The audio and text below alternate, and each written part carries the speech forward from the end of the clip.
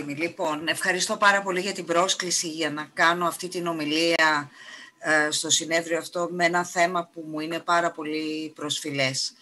Ε, έχω παραθέσει εδώ διάφορες ε, απαραίτητες ε, disclosures, αλλά η ομιλία μου δεν θα αναφερθεί σε συγκεκριμένα φάρμακα και δεν πρόκειται να δείτε, νομίζω, επιρροή από τις συνεργασίες που είχα στο παρελθόν. Ε, καταρχήν να ορίσουμε τι είναι καινοτομία και τι είναι έγκαιρη πρόσβαση. Ε, καινοτομία στην προκειμένη συζήτηση θα αφορά σε φάρμακα τα οποία δεν έχουν ήδη λάβει ε, έγκριση κυκλοφορίας ή δεν έχουν λάβει έγκριση κυκλοφορίας για συγκεκριμένες ενδείξεις για τις οποίες ενδιαφέρουν τον ασθενή για τον οποίο μιλάμε. Τι είναι έγκαιρη; Το τι είναι έγκαιρη στον καρκίνο του μαστού διαφέρει από ότι στην οξία λευχαιμία και ακόμη περισσότερο διαφέρει σε μια λίμωξη με τον κορονοϊό. Καταλαβαίνετε ότι αυτό μπορεί να μεταφράζεται σε μήνες, μέρες ή ώρες για κάποιους ασθενείς. Όταν ένα φάρμακο ε, μπαίνει σε δοκιμές σε ανθρώπους, ξεκινάει από τη φάση σε ένα μελέτη όπου μπορεί να αξιολογηθεί η αποτελεσματικότητα ε, ελάχιστα και κυρίως κοιτάμε την ασφάλεια και την ασφαλή δόση. Ακολούθως περνάει σε μελέτες φάσεις 2 και 3 για την αποτελεσματικότητα και σύγκριση με τις υπάρχουσες αγωγές και μετά περνάει μια διαδικασία εγκρίσεων που σε αυτή τη διαφάνεια αφορά τον FDA, σε εμάς αφορά τον EMA, προκειμένου το φάρμακο να μπορέσει να κυκλοφορήσει στις ε, στις χώρες και να δοθεί στον ασθενή για συγκεκριμένες ενδείξεις. Αυτή η διαδικασία κρατάει πολλά χρόνια. Πολλοί ασθενείς, όταν μιλάμε για καρκίνο τουλάχιστον, πεθαίνουν μέσα σε αυτά τα χρόνια χωρίς να έχουν την ευκαιρία να δοκιμάσουν το φάρμακο αυτό. Πολύ μεγάλα κόστη καταναλώνονται σε πολλά από αυτά τα, αυτές τις έρευνες και επίσης να λάβετε υπόψη σας ότι 90% των φαρμάκων που θα ε, μπουν σε φάση σε ένα μελέτη δεν θα φτάσουν ποτέ στην έγκριση. Ο, ο EMA από τη στιγμή που θα πάρει τα δεδομένα των μελετών ε, θα περάσει μια διαδικασία εκτίμησης ε, και ακολούθως έγκρισης και μετά το φάρμακο θα γίνει διαθέσιμο που στη χώρα μας μπορεί να σημάνει έναν επιπλέον χρόνο όπου θα πάρει τιμή και θα μπει στην, όπως λέμε, θετική λίστα αυτή η χρόνη για πολλούς καρκινοπαθείς τουλάχιστον και σίγουρα για ασθενείς που πάσχουν από κορονοϊό είναι μη ρεαλιστική διότι συνήθως ε, θα τους προλάβουν και θα έχουν πεθάνει πριν να είναι διαθέσιμο το φάρμακο. Ποιο είναι το καθεστώς για πρόσβαση σε νέα φάρμακα όμως, μπορεί να είναι μέσα από κλινικές μελέτες, από προγράμματα πρώιμης ή παρηγορητικής πρόσβασης. Στη χώρα μας υπάρχει μια δυνατότητα αιτήματο στο Ινστιτούτο Φαρμακευτικής Έρευνας και Τεχνολογίας για φάρμακα που κυκλοφορούν σε χώρες εκτός της Ευρωπαϊκής Ένωσης ε, για την ένδειξη για την οποία μιλάει, ε, ε, για την, την οποία αναφορά τον ασθενή και σε μερικές περιπτώσεις που οι παθήσεις και τα φάρμακα χαρακτηρίζονται ως ορφανά υπάρχουν ειδικές διατάξεις. Οι κλινικές μελέτες είναι η ναυαρχίδα της ιατρικής καινοτομίας και μέσα από αυτήν είναι το σωστότερο πλαίσιο για να έχει πρόσβαση στην καινοτομία ο ασθενής. Δυστυχώς στη χώρα μας το κανονιστικό πλαίσιο για τη διενέργεια κλινικής έρευνας είναι σχεδόν απαγορευτικό.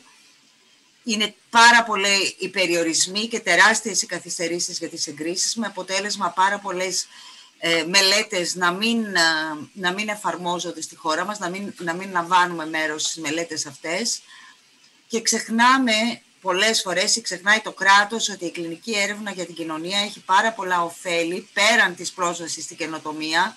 Για παράδειγμα το Βέλγιο που είναι μια χώρα ανάλογου μεγέθους με το δικό μας που συμμετέχει πάρα πολύ ενεργά στην έρευνα είχε μια τεράστια εισρωή της τάξης των 3,6 δισεκατομμυρίων το 2018 μόνο από την έρευνα.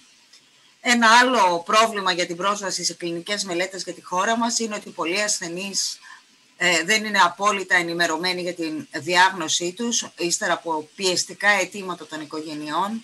Ένα πρόβλημα που βελτιώνεται όσο περνούν τα χρόνια, αλλά ακόμα δεν έχει εντελώς λυθεί. Οι κλινικές μελέτες δεν είναι πανάκια, έχουν προβλήματα. Ένα από αυτά είναι ότι είναι πολλές φορές πολύ γραφειοκρατικές και οι μεγάλες κραυγαλαίες πρόοδες στην ιατρική ήταν προφανείς πολύ πριν ολοκληρωθούν μεγάλες στοιχειοποιημένες μελέτες. Επιπλέον, επειδή ακριβώς με στόχο τη διαφάνεια έχουν γίνει πάρα πολύ σύνθετες και γραφειοκρατικές, το κόστος, το οποίο μεταφράζεται στο να υπάρχει αυξανόμενο κόστος στα φάρμακα, όπως ξέρουμε. Λίγο για αυτό που σας είπα προηγουμένως, ότι η χώρα μας δυστυχώς δεν έχει όσες μελέτες θα έπρεπε και θα μπορούσε να έχει. Εδώ βλέπετε παραδείγματος χάρη το Βέλγιο σε ε, αριθμό κλινικών μελετών ανά ένα εκατομμύριο πληθυσμού και βλέπετε την Ελλάδα που ενώ είναι μια χώρα που στο WHO θεωρείται υψηλού εισοδήματος, έχει πάρα πολύ λίγες μελέτες και υστερεί σε σχέση με χώρες που θεωρητικά η, η, η ιατρική επιστήμη δεν έχει την ίδια πρόοδο όπως έχει σε εμάς. Ε, αυτό, αυτή η διαφάνεια είναι πρόσφατη, είναι 26 Νοέμβρη του 20 και απλά θέλω να σας δείξω ότι δυστυχώς υπάρχουν πάρα πολλές κλινικές μελέτες που τρέχουν, αλλά υπάρχουν πάρα πολύ λίγα προγράμματα πρώιμης πρόσβασης.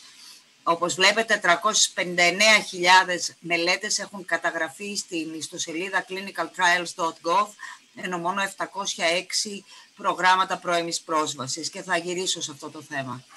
Ένα πρόβλημα που υπάρχει στις κλινικές μελέτες είναι ότι πάρα πολλοί ασθενείς δεν πληρούν τα κριτήρια των μελετών. Παραδείγματος χάρη, οι μελέτες συνήθως αφορούν ανθρώπους συγκεκριμένων ηλικιακών ομάδων. Επίσης, επειδή οι μελέτες πρέπει να είναι μέσα σε πολύ αυστηρά πλαίσια, αναγκαστικά οι ασθενείς συνήθως πρέπει να είναι χωρίς συνοσυρότητες, χωρίς άλλα προβλήματα υγείας και βεβαίως αφορούν συγκεκριμένες γεωγραφικές περιοχές. Επιπλέον, ε, η συμμετοχή στις, στις μελέτες έχει ως επιτοπλίστων όφελος την έρευνα, έχει ως επιτοπλίστων στόχο ε, το να πάρουμε επιστημονικές πληροφορίες. Ο στόχος της δεν είναι η θεραπεία των συγκεκριμένων ασθενών που συμμετέχουν στη μελέτη, που άλλωστε μπορεί να λαμβάνουν ακόμα και εικονικό φάρμακο.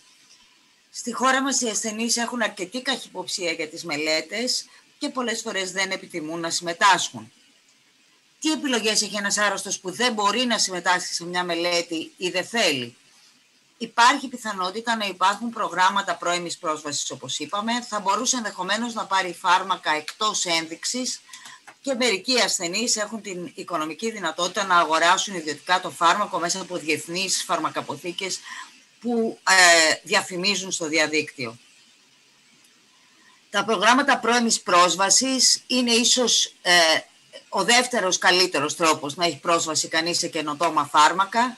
Έχουν ένα κανονιστικό πλαίσιο, αφορούν συνήθως φάρμακα τα οποία έχουν ολοκληρώσει τις μελέτες ασφάλειας και ένα μεγάλο μέρος των μελετών αποτελεσματικότητας και στη χώρα μας το πλαίσιο είναι αρκετά περιοριστικό και πάλι και απαιτεί να έχει φτάσει το φάρμακο στο σημείο που να είναι έτοιμο να καταθέσει έτοιμα για έγκριση στον EMA πέρα των προγραμμάτων πρώιμης πρόσβασης που είναι ομαδικά, υπάρχουν και ατομικά τέτοια προγράμματα, τα οποία σημαίνουν ότι μπορεί να υπάρξει έγκριση για πρόσβαση στο φάρμακο για έναν μεμονωμένο ασθενή.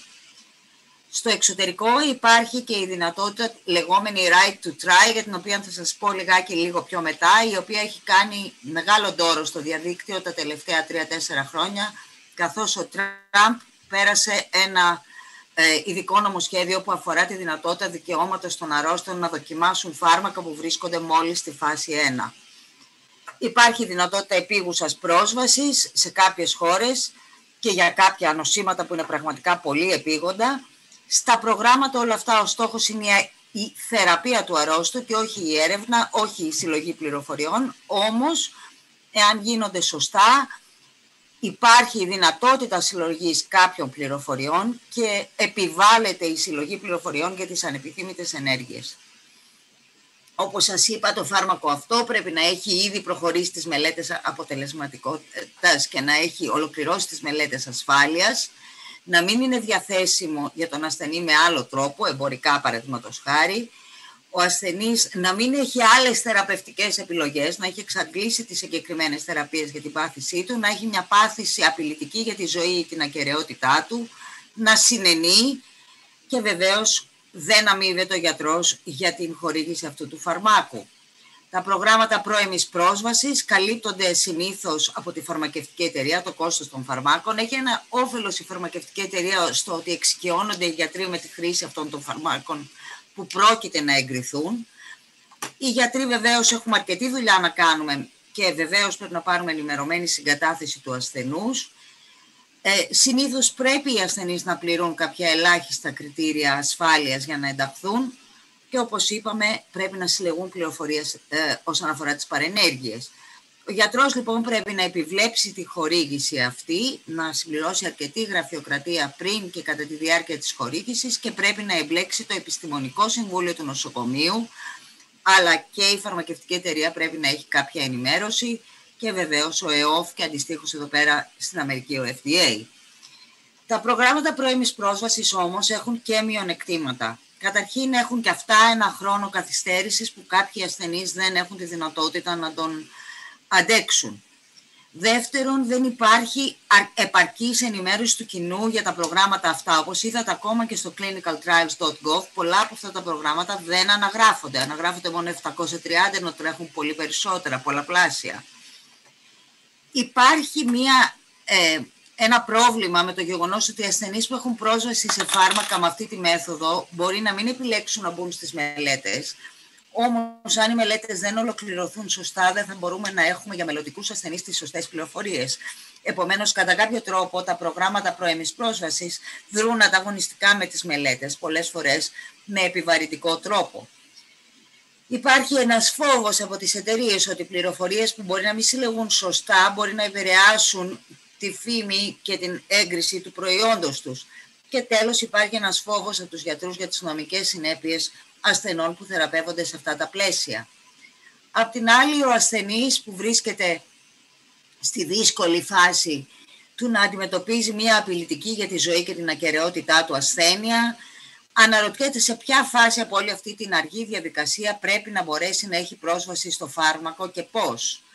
Και έτσι υπάρχουν και τα προγράμματα, όπως είπαμε, ατομικής πρόσβασης που μπορεί να είναι επίγοντα ή όχι και που στις Ηνωμένες Πολιτείες χρησιμοποιούνται πάρα πολύ. Σε μια μελέτη 1.332 ετοιμάτων για ατομική πρώιμη πρόσβαση στις Ηνωμένες Πολιτείες μεταξύ του 2011 και του 2014, 157 φάρμακα ε, ε, ετήθηκαν ε, κέντρα που ως επιτοπλίστων ήταν ακαδημαϊκά κέντρα και νοσοκομεία και 61% των φαρμάκων τα οποία αιτήθηκαν, δηλαδή γύρω στα 90 από τα 157, τελικά εγκρίθηκαν. Καταλαβαίνετε λοιπόν ότι τα υπόλοιπα 39% από αυτά τα φάρμακα δεν φτάσαν ποτέ στην έγκριση, δεν πληρούσαν ποτέ τα κριτήρια που επαρκούσαν για να εγκριθούν.